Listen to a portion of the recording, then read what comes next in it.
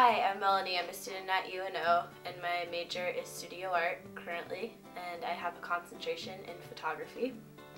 In the future, I would like to either have my own photography business or do some sort of um, magazine, fashion industry, um, photography, and layouts for magazines.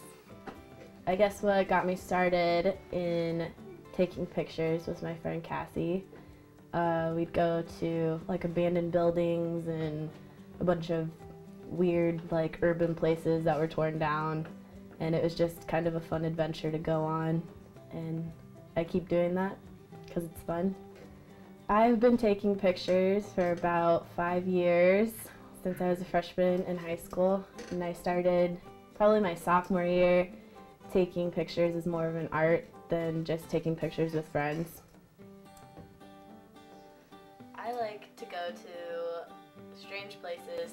Pictures, like abandoned buildings and a lot of places with graffiti. Um, I like taking pictures there because I feel like not a lot of people um, take pictures with graffiti. I feel like it um, is different, makes it more distinct.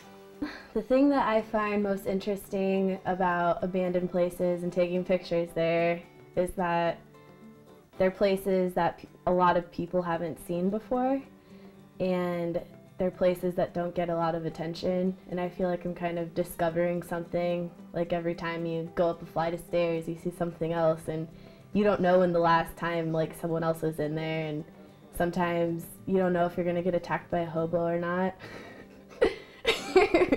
like I don't know, it's the mystery of the building. I think it's really fun.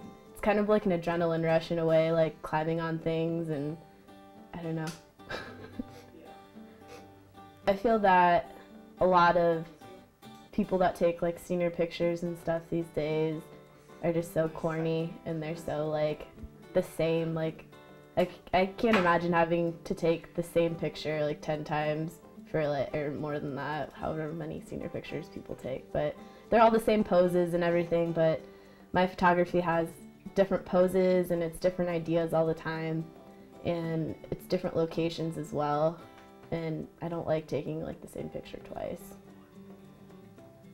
I think my photography defines me a lot because I think it all has a lot of the same under qualities. Like they're not the same pictures, but they have a very similar like color scheme a lot of the time. I really like bright colors and you see that in a lot of mine and I like shadows a lot. And I don't know, I feel like my, my photography is pretty distinct. Like I feel like if someone knew it, then they could pick it out out of like five pictures. Um, one time I did get in trouble and I hadn't gotten in trouble until I did this interview with Steve.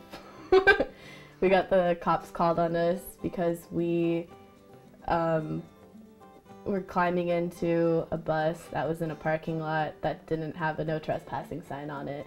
And someone had already previously broken in and broke a window, and then some lady called the cops, and she told us she was calling the cops. And then she followed us to Iowa, and that was the end of that. I think it kind of like captures people at their best moments as well. Like, I like looking back and seeing people, like, I don't know, it's like they're having fun. It's just fun to look back and remember what fun times you had. the way that I know that a picture is done, like after I'm done editing, is when, like I think that part kind of comes natural, is when you have a natural eye for photography. Like everything's really balanced, like the lighting and the colors and everything just fits right. Sometimes it can take like five minutes and other times it can take like an hour before you really feel like it's a whole like picture. I'm sure it's the same with art and painting and stuff. You can, a lot of the times when you do art, you can always find something to add or take away. But I guess I like seeing other people's reactions to my photography, um, especially the people that I take pictures of. It's really cool when people say that they like it.